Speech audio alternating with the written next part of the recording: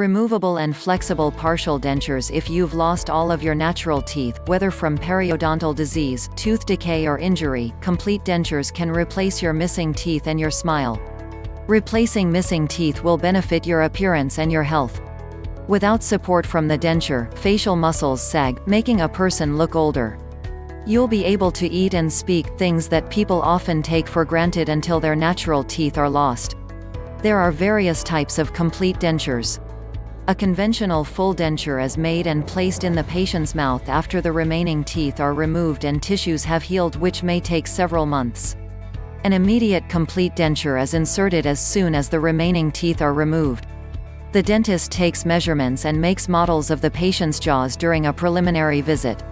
With immediate dentures, the denture wearer does not have to be without teeth during the healing period.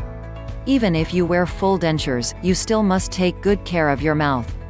Brush your gums, tongue and palate every morning with a soft bristled brush before you insert your dentures to stimulate circulation in your tissues and help remove plaque.